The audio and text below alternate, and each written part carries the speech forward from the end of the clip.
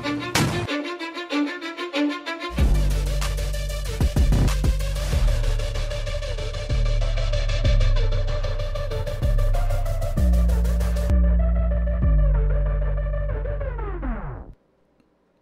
Olá, seja muito bem-vindo, seja muito bem-vinda a mais uma análise de notícias internacionais, edição desta quinta-feira, dia 29 de junho, com a apresentação de Alexandre Pitoli e trabalhos técnicos de Luiz Pereira e Edson Simões. Na edição desta quinta-feira, aqui com análise de notícias internacionais, você vai ficar sabendo que em campanha, Ronda Santos promete acabar com a cidadania de filhos de indocumentados nascidos nos Estados Unidos. Este é o destaque desta edição do Análise de Notícias Internacionais.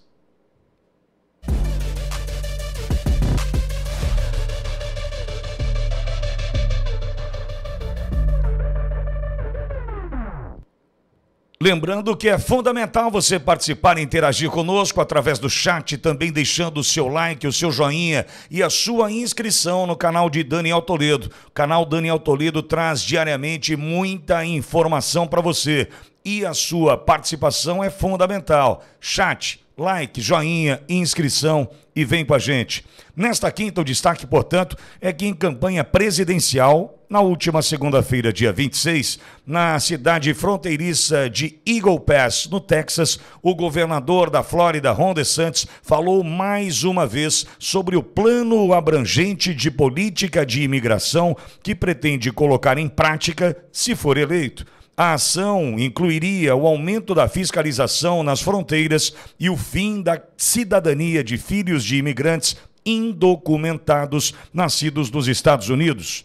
Direito concedido pela 14ª emenda, o país concede cidadania automaticamente a qualquer pessoa nascida dentro de suas fronteiras. Durante o discurso, Ron DeSantis disse também que vai acabar com o catch and release, ou pegar e soltar, política que permite que imigrantes capturados na fronteira sejam soltos nos Estados Unidos enquanto aguardam a audiência de asilo. O republicano Ron DeSantis afirmou ainda que pretende completar a obra do muro fronteiriço, projeto do ex-presidente e seu atual oponente na corrida pela Casa Branca, Donald Trump. Se eleito, Ron DeSantis afirmou que dará carta branca para os agentes da patrulha de fronteira responder com força se pegarem traficantes de drogas tentando entrar no país. O governador da Flórida prometeu também cortar centenas de milhões de dólares em financiamento para as chamadas jurisdições santuário, que se recusarem a cooperar com a lei federal de imigração. Com relação a essa posição de Ron DeSantis, aparentemente, para você que não está nos Estados Unidos, não é um cidadão norte-americano, ali não está, talvez fique difícil de você perceber de fato qual é a importância deste assunto, quão caro, quão caro é este assunto para quem está vivendo, para quem é residente, para quem é nascido, para quem é norte-americano, enfim. Talvez a gente não consiga dimensionar o tamanho do impacto dessa fala de Ron DeSantis para quem lá está. Que eu estou tentando te mostrar o seguinte: nós ficamos aqui com as notícias que chegam através de veículos de comunicação que têm o seu viés declarado lá nos Estados Unidos e são reproduzido, uh, reproduzidos esses conteúdos por veículos de comunicação aqui que muitas vezes, embora isso esteja cada vez mais difícil no Brasil, tenham o seu viés ideológico mais oculto, menos explícito. O que significa?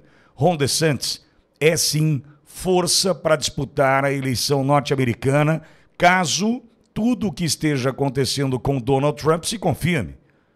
Donald Trump está sendo perseguido, tem os processos, e nós sabemos como isso pode terminar, já que estamos a um ano e pouco das eleições norte-americanas.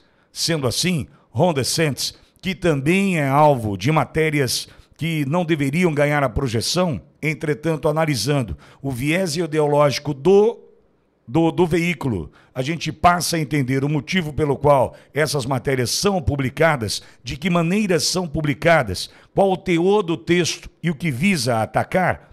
Bom, Decentes é porque se confirma, sem dúvida alguma, como um dos postulantes ao cargo de presidente da nação mais importante do planeta. Então é muito importante, fundamental, que você passe a compreender que as informações que aqui chegam vêm de veículos de comunicação que têm o seu viés determinado e aqui passam pelo mesmo processo. Ron DeSantis, se você pegar aí no passado recente do análise de notícias internacionais, ele é notícia todos os dias, tentando atacar em especial os migrantes, os migrantes ilegais, os indocumentados e assim atinge a opinião pública daqueles que estão fora dos Estados Unidos. Não se esqueça, é necessário fazer uma peneira, é necessário fazer uma avaliação do que o veículo que traz a informação tenta fazer com que você passe a ter como opinião formada. É muito importante que você faça essa análise, em especial porque, confirmo, Ronda Santos diante da perseguição sofrida até aqui por Donald Trump e esse funil, essa situação deve se afunilar ainda mais, ficar aí com a boca ainda mais apertada esse funil, Ron DeSantis se torna então um postulante que realmente merece a nossa atenção para a disputa dos republicanos para as eleições do ano que vem nos Estados Unidos. Bom, Durante a semana a gente vai voltar aqui tratando de assuntos importantes. Por exemplo, amanhã a gente vai falar que cerca de 17 milhões de imigrantes ilegais vivem atualmente nos Estados Unidos, diz um estudo. Seguindo a semana, nós vamos falar que a CNN obtém áudios de conversa de Trump em 2021 sobre documentos confidenciais. Ainda no domingo, nós vamos falar sobre os aliados dos Estados Unidos da Ásia que juntam forças para confrontar a China no início da próxima semana, em nossa análise de notícias internacionais, como o Reino Unido enviou de volta ao Caribe migrantes com distúrbios mentais. Na terça, vamos falar do líder do grupo Wagner, dizendo que recuamos para evitar um derramamento de sangue russo. E fechando a semana, a Polícia Federal realiza a operação contra a fraude em vistos para os Estados Unidos. Assim, você fica extremamente bem informado com a análise de notícias internacionais aqui no canal Daniel Toledo. Até a próxima.